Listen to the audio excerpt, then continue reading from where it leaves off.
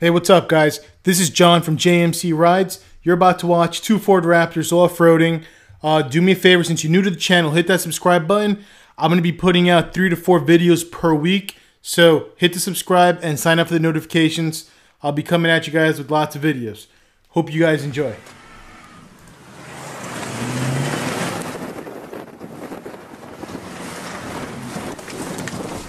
Obviously go ahead please pardon the quality on the video. Keep in mind this was shot back in 2010 back then I think I was probably using a brick for a camera and I probably didn't even know what a gimbal was.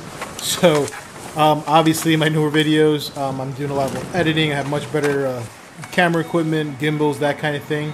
So again before all the haters go ahead and start blowing me up um, this is back from 2010 let's go ahead and Oh, by the way, right here in the video, you'll see that we're actually filming in Mexico because if it was New York, of course, it wouldn't be legal.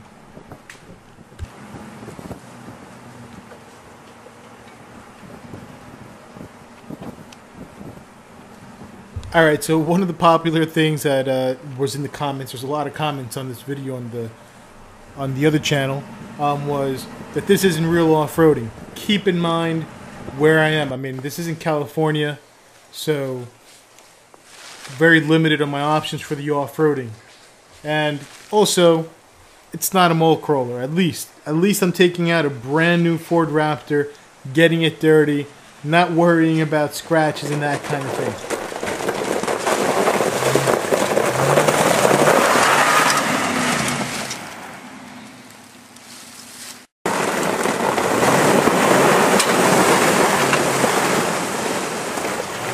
I gotta admit, I definitely put this truck through hell. This truck was very, very tough. I mean, I abused the hell out of it. Never really had any problems with this truck. Definitely love this thing. Alright, so start paying attention. You're to start hearing a little hissing sound, which is the reason why I know a lot. I got so many comments on this. You know, saying oh, my Jeep Cherokee probably could have driven through this and that or whatever. I could have turned on the lockers. I probably could have went to four-wheel drive low or turned on the lockers and experimented more. But I heard that hissing sound. I was losing air pressure in one of my tires. And that was a rookie mistake. The reason why I was losing air pressure, at the time I didn't know. I thought I tore up a tire or something. I had no idea. What ended up happening was um, I before I came to this place to do the off-roading, I had taken some air pressure out of my tires and I didn't put the caps back on.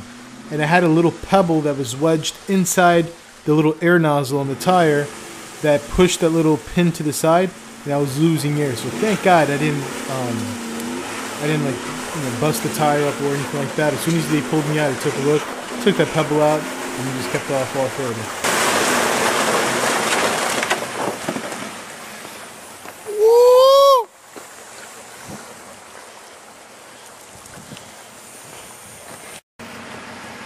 Don't way too deep too quick, man. I know if I do any more. You went through there also. Oh, my exhaust is bubbling.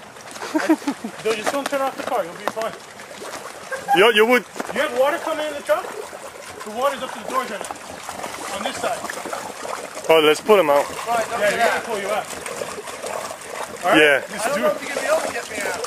What? No, I was starting. Yeah, I gotta admit, this part's a little crazy. These are brand new trucks, okay?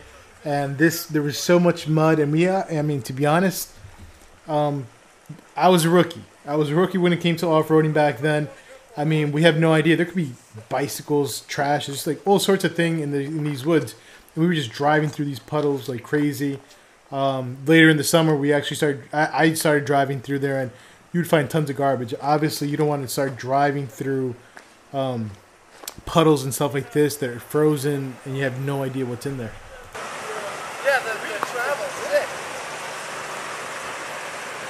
50 shots at you. How it looks. It's crazy. Come on.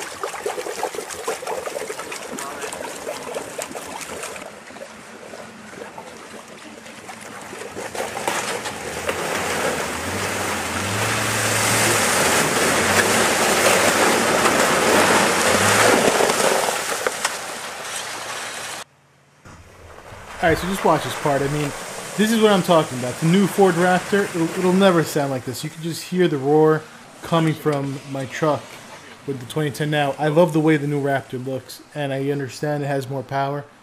I just love the way that V8 sounds. Oh, he's stuck completely. Oh, he don't have the 4x4. Yeah, my friend Steve was getting stuck a lot this day. That's the one thing. Thanks to these cars, whatever, you meet a lot of great people. Oh, no.